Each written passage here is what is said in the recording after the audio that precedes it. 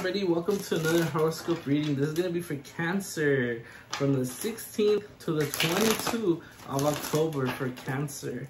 Okay, so we got some cards falling out already. Okay, so it looks like there's some work to be done here, okay? There's some work to be done here. You need to be strong, be positive, and make sure you're on top of everything okay? Something's gonna be paying off. So make sure you finish whatever you started, okay? Whatever it is that you started, make sure you finish it because it is gonna pay off, okay?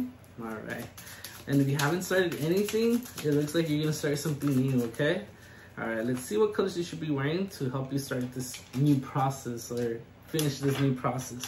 Okay, wear something gray, okay? Try to wear something gray towards that white color, okay? So gray or white, try to wear something with those colors to help you this week, okay? Help you um, study, finish studying, or finish um, doing this new project that you're starting, or finish this new project you're in, but be strong about it, okay? All right, Cancer, your lucky day is on Friday. Okay, what a day, Friday. And then your lucky numbers are 2, 3, 5, and 8 okay those are your lucky numbers. So that's all i got for you. All right so um make sure you like comment share follow and or subscribe. Okay we'll see you guys on the next one